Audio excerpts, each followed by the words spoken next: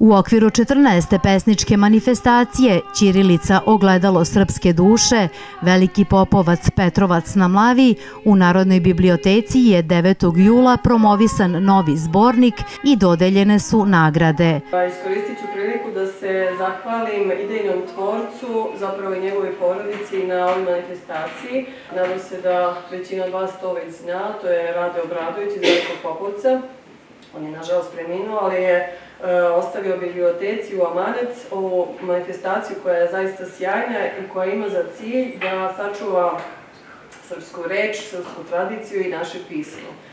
E, meni je zaista drago da vas vidim u ovolikom broju i posebno mi je drago e, što se ova godina uopšte nama nama je jako bitna zbog toga što je jubilarna i upravo odatle i tema ovog zbornika, 14. po redu, I hvala vam još jednom, želim da se prijatno osjećate kod nas, čestitam nagrađenima i čestitam svima koji su e, se prijavili na konkurs, jer zaista je pristigo veliki broj radova. Ove godine tema pesničkog konkursa je bila Đura Jakšić sad je Ćirilice tema, beše pesnik, slikar, čovek sa duhom boema. Razmišljajući o tome šta bi mogla biti tema nove Ćirilice, misao da to bude Đura Jakšić nekako spontano se nametnula. Poput Desanke Maksimović, i on je u datom trenutku vremena bio taj koji morski kraj pohodio. O tome su, kao svjedočanstvo, ostale pesme Put u Gornjak i Noć u Gornjaku, a Đurino oduševljenje našim krajem možda na najlepši način prezentuju čuveni stihovi od velikog sela do samog Ždrela, kuda je bila neki čili razastrela. Put je Đuru vodio preko ludog polja do Ždrela, a zatim i preko Gornjačke klisure, uzvodno uz Mlavu do manastira Gornjak. U ludom polju on je morao osjetiti snagu vetrova koji nigde drugde ne duvaju takvom silinom zbog postojeće takozvane ruže vetrova, ali svu silinu snage prirode, snagu reke koja je u stenama uklesala klisuru tražeći sebi put. Svojim očima je u kamenu morao vidjeti ostatke prastarog manastira Blagoveštenje, slušao i žubor mlave koji je tog proleća kada je putovao morao biti jak zbog kiša, ali tišinu mlave na mestu tišine gde je prema legendi car Lazar prokleo mlavu da ćuti. U nekom trenutku stigo je u manastir Gornjak. Smatra se da je za noći u krčmi pored manastira, kao da je i pesma Noć u Gornjaku nastala upravo tada. Na ovom mestu danas nalazi se motel. Žiri u sastavu Tatjana Živković, diplomirani bibliotekar savjetnik, Danilo Radojković i Jovan Ivković, profesori književnosti, donao je odluku da nagrađeni radovi budu. Prva nagrada, Zlatni pečat Ćirilice, pripala je pesmi Đurin Oklop, autora Miće Aksentijevića iz Dobrnja. To je za mene bilo iznenađenje, prijatno iznenađenje i ovaj, meni pripala velika čast da e, moja pesma bude tako visoko ocenjena. Inače, ovaj, ja, e, poezija je najveća umetnost na svetu i to što mi o njoj znamo, to je ono njeno predvorje, ona ne objašnjiva baš isto koji ljubav. I onda se pitanje postavlja šta je cilj i da li ga ima.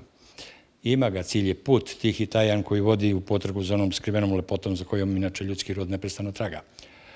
A dodatno sam srećan što je nagrada e, vezana za ime našeg velikog liričara Đure Jakšića i slikara naravno i što sam ja, bar u ovom trenutku, postao važan deo toga.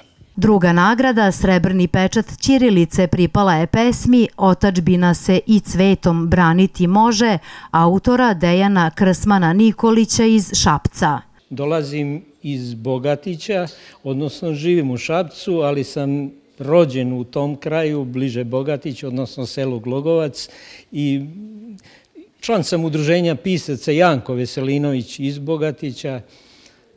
Na ovim konkursima sam učestvovao već ovde u Petrovcu, nekad sećam se i u Velikom Popovcu još, u Bistrici sam bio, i, ovaj, ali ova nagrada koji, za koje, na kojoj sam naravno zahvalan i uvek je, su nagrade su uvek pomalo neočekivane, naravno da mi znači. Treća nagrada, bronzani pečat Ćirilice, pripala je pesmi Đuri Jakšiću, autora Budimira Stefanovića iz Rače Kragujevačke. Ja učestvujem više puta na ovom konkursu, ovo mi je od 2015. do sada drugi, druga, treća nagrada ili drugi bronzani pečat Ćirilice. Ovo je manifestacija koju meštani Petrovačke opštine nazivaju Ćirilicom i posvećena je negovanju srpskog jezika i ćiriličnog pisma kao ključnih elemenata kulturnog identiteta. Ćirilica kao pismo koje je ugroženo je ovo je izvaredna, da kažem, e, upotrebljiva ideja da se zaštiti Ćirilica i da se, jer e,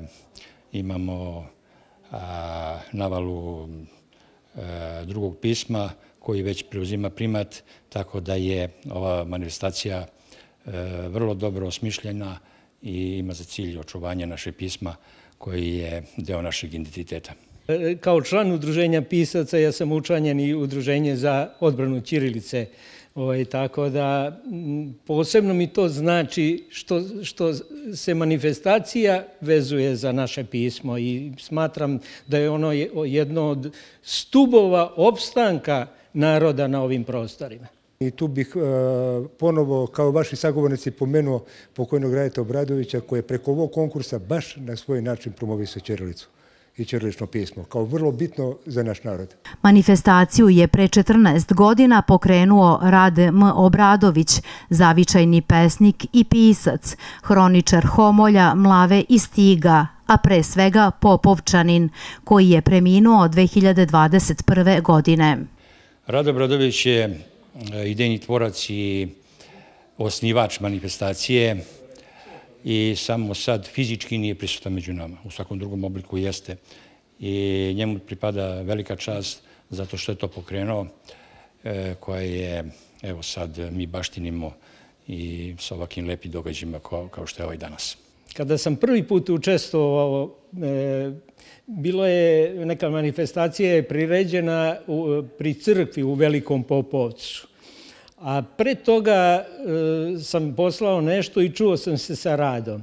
E, telefonom smo mi tako dugo razgovarali da kao da smo se znali godinama, iako jedan od drugom apsolutno ništa pre toga nismo znali. Kasnije, ne samo tu što smo izvanredno dočekani, nego, nego i kasnije sam se sretao na nekim sličnim manifestacijama u okviru Srbije. On je bio veliki, veliki borac prvo za, za Ćirilicu, ali i uopšte. On se bavio, što i mene također zanima, pomalo i arheologijom, istorijom našeg naroda, poreklom, tu smo se vjerojatno mi, mi našli, samo mi je jako žao što, što je, smatram da, da, da je možda i bilo, bilo nade da, da, da, da on malo traje nama više onakav čovjek, onakva ljudina, malo nas je, bez obzira i što smo znali, iznenadilo da je, da je, da je otišao i da nas je napustio.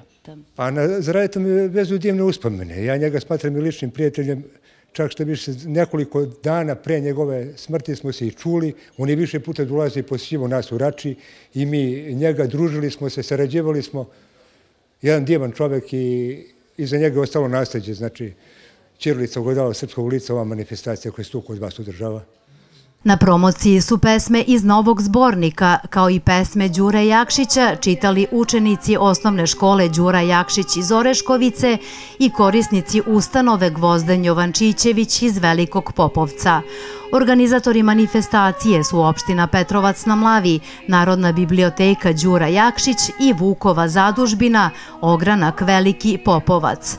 Nagrađenim pesnicima su, pored priznanja, zlatni, srebrni i bronzani pečat, pripale novčane nagrade opštine Petrovac na Mlavi i prigodni pokloni Infocentra turističke organizacije.